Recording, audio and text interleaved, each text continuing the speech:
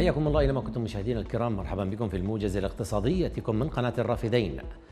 أغلق خام البصرة الثقيل على انخفاض بلغ ستة سنتات ليصل إلى 72 دولارا وثلاثة سنتات إلا أنه سجل مكاسب أسبوعية بلغت دولارا وتسعة وعشرين سنتا وأغلق خام البصرة المتوسط في أو خام البصرة المتوسط في آخر جلسة لها على انخفاض أيضا بلغ ستة سنتات ليصل إلى 75 دولارا وثمانية عشر سنتا.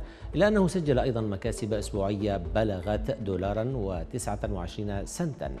هذا وأغلق خام برنت على انخفاض بمقدار 28 سنتا ليصل إلى 75 دولارا و58 سنتا. سجل مكاسب أسبوعية بلغت دولارا و41 سنتا أو ما يعادل 1.9% وأغلق خام غرب تكساس الوسيط الأمريكي على انخفاض أيضا بمقدار 31 سنتا ليصل إلى 71 دولارا و55 سنتا للبرميل الواحد. وسجل مكاسب أسبوعية بلغت دولارا وواحدا وخمسين سنتا.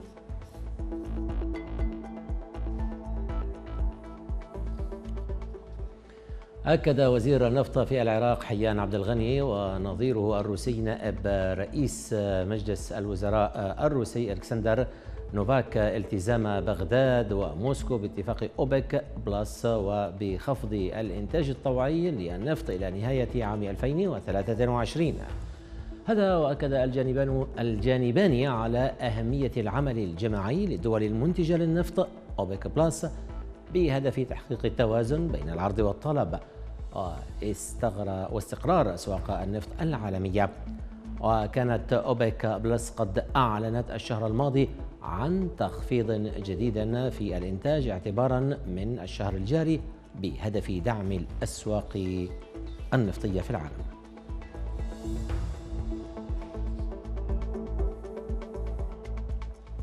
أكد القنصل العام التركي في البصرة والمحافظات الجنوبية أن حجم التبادل بين بلاده والعراق تجاوز 20 مليار دولار. هذا وقال القنصل التركي إن هناك 14 مليار دولار عبارة عن تجارة مباشرة بين تركيا ومحافظات كردستان العراق. وأضاف أن الشركات التركية العاملة في العراق متعددة ومتنوعة بين تجارة الأثاث وصناعة المطابخ والألبسة والمواد الإنشائية. وأكد أن الشركات التركية المتخصصة في مجال الإعمار والبنى التحتية تعمل بصورة واضحة داخل البصرة والمحافظات الجنوبية.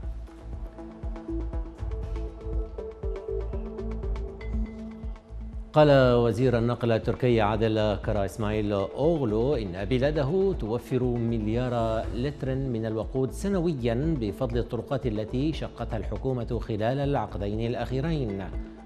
أكد الوزير التركي أن حكومة بلاده أنشأت 29 ألف كيلومتر من الطرقات المقسمة وأن طول الأنفاق بلغ 720 كيلومترا بعدما كان 50 كيلومترا فقط في عام 2002 ولفت الوزير إلى أن مدينة اسطنبول أصبحت من المدن المهمة تحت رئاسة الرئيس التركي رجب طيب أردوغان بفضل الكثير من مشاريع البنى التحتية كمطار إسطنبول وجسر السلطان ياوز سليم ومترو مرمراي ونفق أوراسيا.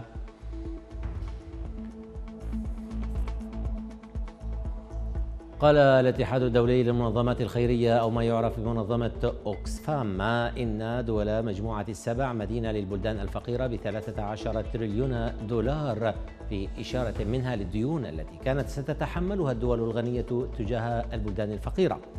أوضحت أوكسفام أن دول مجموعة السبع فاشلت في الوفاء بتعهداتها بتقديم 100 مليار دولار سنويا حتى عام 2025 لمساعدة البلدان الفقيرة على التكيف مع تغير المناخ.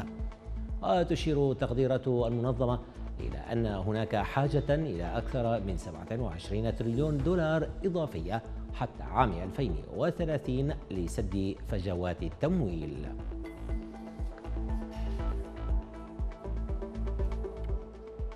والآن هذه انتقالة سريعة مشاهدينا الكرام إلى أسعار صرف العملات الأجنبية وأسعار المعادن.